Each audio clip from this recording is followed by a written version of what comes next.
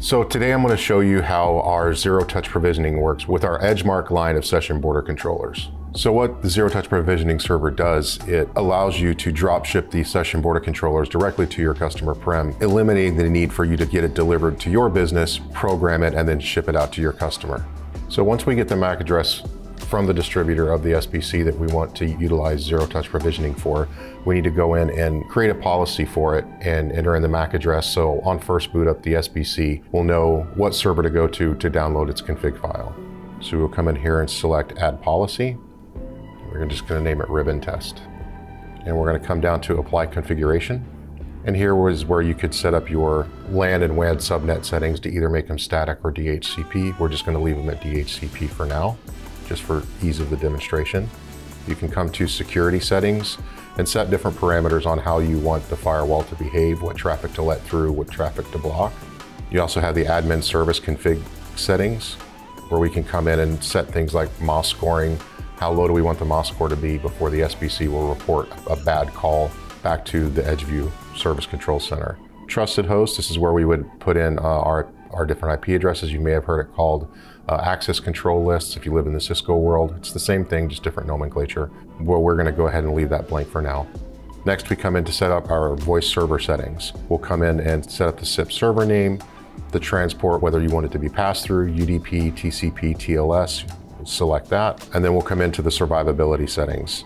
This is where we can enable the SIP keep alives interpret error code 403 as a success. We can monitor, turn on monitor SIP messages, enable a phone expires override, and enable SIP server redundancy. And then we'll click Save Changes. So now that we've done that, we need to go into uh, EdgeView, uh, into the auto provisioning settings, and plug in the MAC address and tell it what policy we want it to download its config from. So we're going to come to provisioning and then auto provision devices. We are going to enter in the MAC address of the SBC it's going to come up and say status verified. And then we're going to select the ribbon test policy that we created and hit auto provision. So now on first boot up, the SBC will boot up. It'll reach out to the zero touch provisioning server, download its config, and then your technician can get in and access the SBC. Now we're gonna factory reset the SBC by pressing the erase button three times. That's going to cause the SBC to get restored back to the factory default settings and then download the config from the EdgeView Service Control Center. So now if we come into status under the provisioning settings, we'll see that we've actually made first contact with the SBC. It's actually in the process of downloading its configuration. And then when it's finished, this will actually disappear from the screen when you refresh the page. So on first boot up, the SBC will have its default passwords. EdgeView will change those default passwords to something random. So now we need to go in and change those passwords to something that we can remember. Go into the collection that we assigned, come to devices, and by default, the host name on the SBC is going to be the model number, which is a 2900E in this instance, and followed by the MAC address, and we can change that later. So now we come up and click on Actions and change passwords. And we are going to set the different passwords.